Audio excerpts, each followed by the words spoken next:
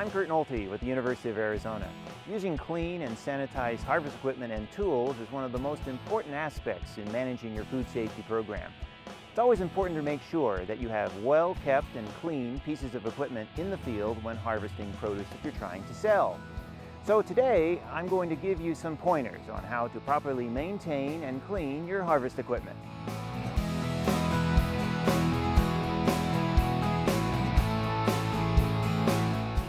There should always be someone in charge and responsible for ensuring that equipment is clean and in good repair.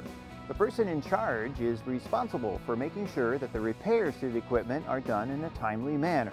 It's important to note that the effectiveness of all cleaning procedures requires strict monitoring and evaluation through documentation and visual and microbial assessments.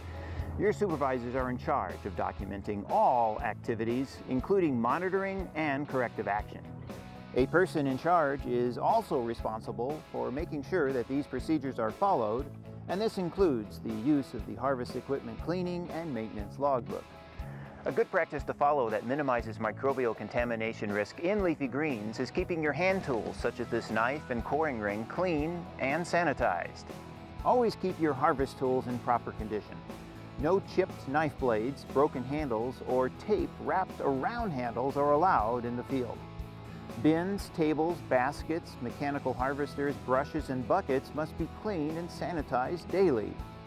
Do not walk, step, sit, or lie on food contact surfaces.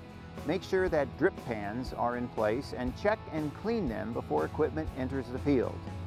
Cleaning should only be done using potable water, and please keep in mind that the hardness of the water can also influence the effectiveness of the cleaner.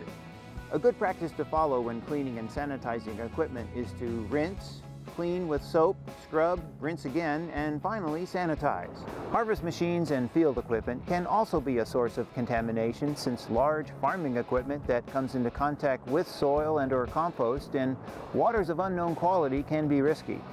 It's a good suggestion to use a pressure washer when cleaning off compost, dirt, or mud from your harvest equipment.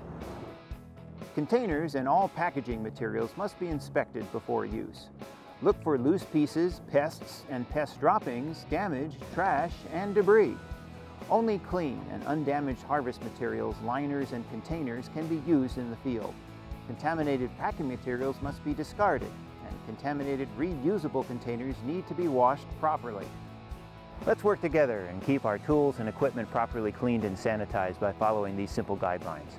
It's important to practice these recommendations to have a safe work environment in and off the field. And remember to always make sure that your harvest tools and equipment that you use are clean and sanitized and well kept so we can provide the best and freshest produce to our customers.